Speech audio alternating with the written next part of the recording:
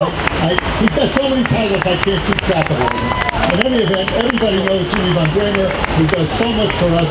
Jimmy, the microphone's yours.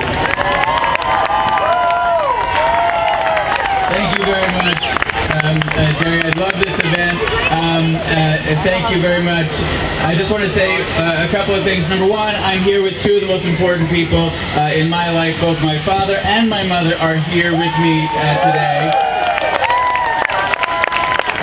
And uh, we're actually bursting with pride because just yesterday, uh, my nephew and their grandson, Vincent, uh, graduated from boot camp and is now a United States Marine as of yesterday. So tomorrow we have a big family reunion to celebrate Vincent. Uh, and our other, uh, one of my other nephews and one of their other grandchildren, Dennis, is in the U.S. Army. So we're very proud of Dennis as well, equal time here.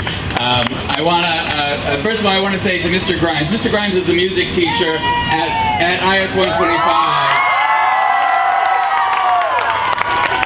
And Assemblywoman Nolan and I have seen Mr. Grimes in action so many times. You are everything that is right about teaching in our education system. You are amazing.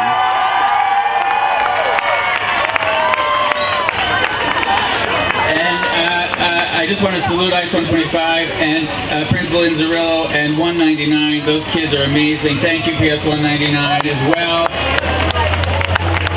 The Girl Scouts are here. Let's give it up for the Girl Scouts. And the Boy Scouts.